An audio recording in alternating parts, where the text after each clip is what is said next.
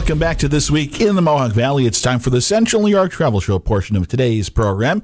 And we say good morning to Sarah Foster from Oneida County Tourism. Good morning, Sarah. How are you? Good. Uh, thanks for having me. Great uh, to have you with us. And uh, Yeah. 4th of July, right around the corner, we're going to talk about a little uh, parade and celebration happening in Yes, Utica. uh, I can't believe it's already almost the 4th of July parade, but we are joined today by Ray Durso, uh, Executive Director of the Genesis Group, who we love working with. And uh, we're here to talk about the 4th of July parade. Welcome, Ray.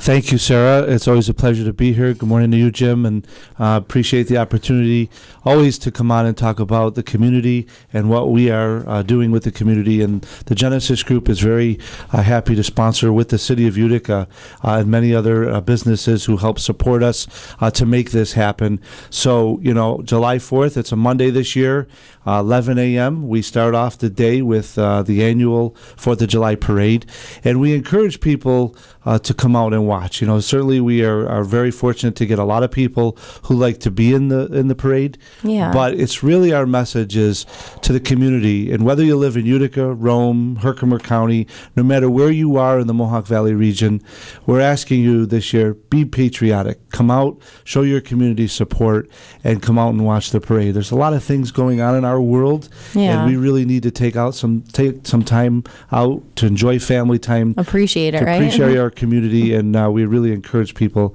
to come and, and watch. That's great. So, um, uh, first of all, it's great that it's on a Monday because now it's like the end of a long weekend. So if people are doing their thing earlier in the weekend, they'll be back by Monday. It's a great time to come out. Um, like you were saying, you know, the community spirit. Maybe it could be a nice little warm up for the Boilermaker. Have everyone start, you know, getting ready for that. Be out in the streets. Yep. And, you know, it's funny you say that it's on a Monday because we have found doing these over the years that when parades are held on a Monday through Friday, the attendance is it's a lot higher because people Yeah. do tend to be away. for travel Saturday and Sunday. sometimes. But they have to go back to work the next day. So, you know, you'll be here. And plus, a lot of people are here that don't have the opportunity to go away. So it's really an opportunity to come out, wear red, white, and blue, and come out and show, your Mm-hmm. Show your spirit. pride. So 11 o'clock, the parade kicks off on the streets of, of Genesee Street, South Utica. We use the Church of Our Lady of Lourdes as our staging area. We appreciate the great support of Father Joe Salerno at Lourdes. Uh, he allows us to use the entire church property, and a lot of the city streets around the church are going to be closed off. We stage right in front of the hospital and, and the church on Jenny. We go north on Genesee Street to the Memorial Parkway. We turn right onto the parkway and we end at the recreation center at Oneida Street. So it's about Okay. a, a mile and a half. Yeah. But it's a great uh, route and It's it's, really distance. there's a lot of side streets that allow for people to park and to be able to walk up to Mm-hmm. Genesee Street.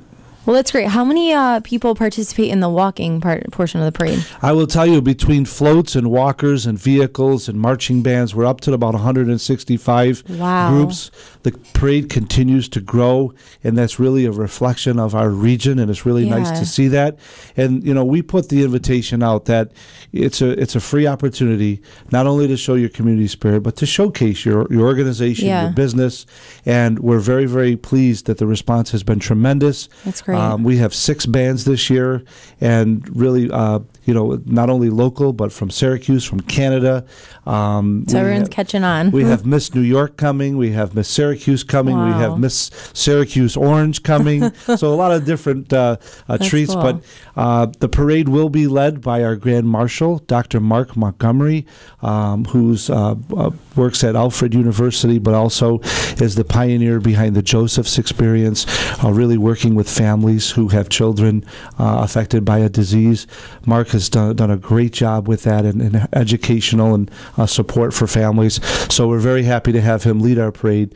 So between your non-for-profits, your business, your community, uh, your school districts, colleges, Boy Scouts, baseball teams, yeah. we're really pleased to be able to showcase, um, you That's know, what we cool. have. Is there is there still an opportunity if people want to join? Yes, there is. You know, we certainly take uh, applications right up until the morning of the parade. Okay. No one is allowed in the parade unless they fill out an application and we have them registered, and that's for liability purposes. Yeah. But we certainly uh, will take people right up, and it's free again. So. Okay, great. Now I know um, th- the parade is awesome. It's very exciting. That's first, but then there's something that happens after the parade. Why Yep. don't you talk about that? Yep, and, and all this information, whether it's re- regarding the parade or the events later, can all be found at July the number four Utica.com. So Okay. July, the number four Utica.com.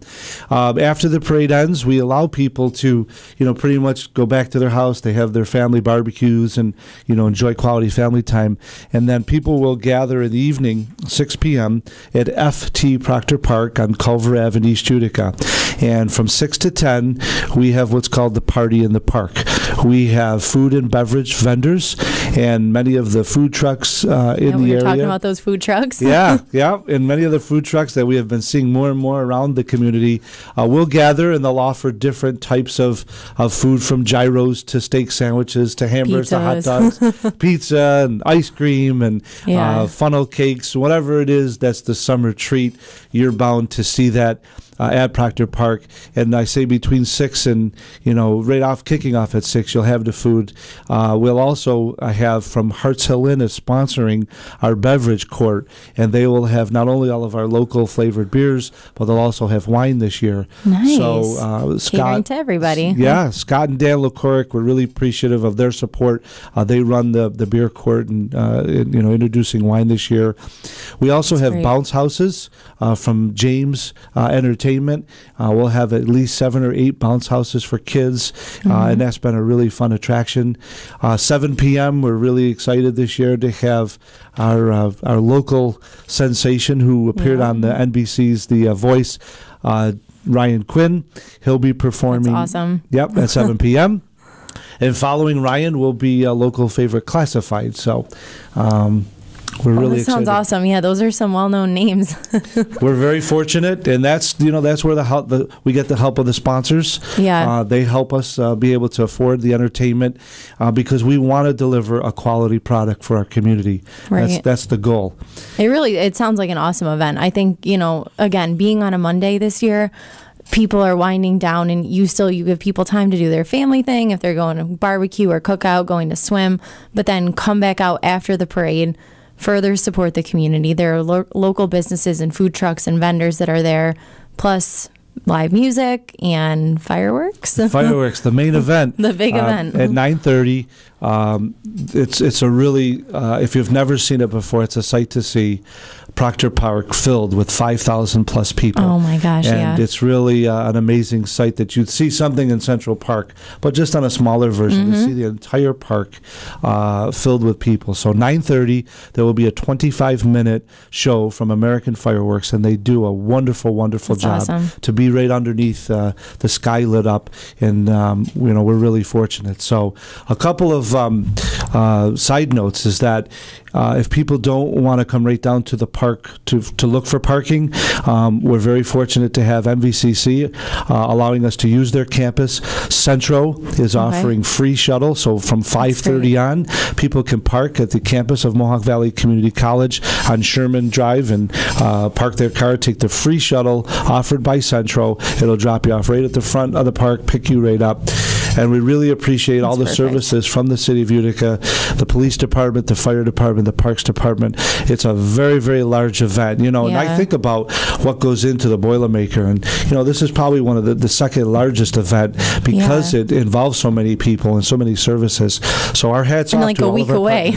yeah, yeah, we're getting. yeah we're well it's there, great so- to see the community come together and uh, just all the partnerships and i know every it's a very exciting time in the region and in utica so this is just kind of playing further into it And the, and the weather has been great the last Mm. Knock couple of weekends. So, you know, we're, we're fortunate that the weather uh, will hold out. And again, it's a privilege for the Genesis Group to, to be the organizer because Yeah. this is aligned with our mission, bringing together people from around the region to promote, celebrate, recognize the great things we have in our region. We're honored to be a part of it. So well thank you ray um, one more time the website if people want more information or want to be in the parade simply www.july, the number four, utica.com. And you can go to that site for information about the parade, being a vendor, and any uh, questions that you might have. great thanks ray Thank you, Sarah. Appreciate that.